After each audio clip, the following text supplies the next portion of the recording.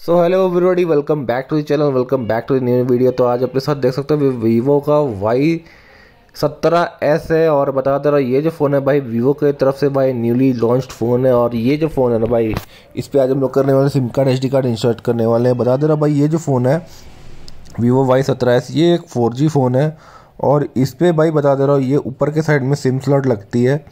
आप यहाँ पे देख सकते हो।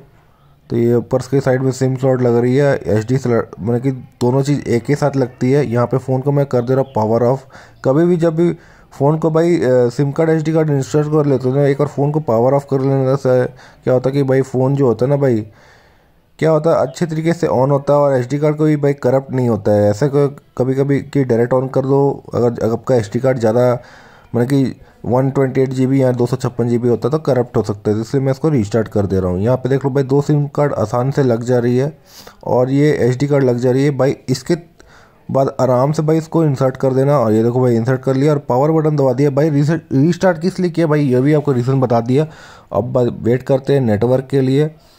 ये जो फ़ोन है भाई वीवो ने जो लॉन्च किया ना भाई, मेरे हिसाब से भाई, ये फोर जी फ़ोन में भाई अराउंड जो रेंज आ रही है ना, इसकी बारह तेरह हज़ार रुपये रेंज आ रही है। तो मेरे हिसाब से भाई, आपको भाई वीवो में फाइव जी फ़ोन में स्विच कर जाना चाहिए। Vivo T two X five G मेरे को लगता नहीं है वर्थ इतने पैसे लगाने। बाकी आपकी मर्ज़ी है, ये देख लो भाई नेटवर्क आ चुका है और मिलते हैं किसी नेक्स्ट वीडियो पे। Till then bye bye support करना भाई को, चैनल को। लव यू बड़ी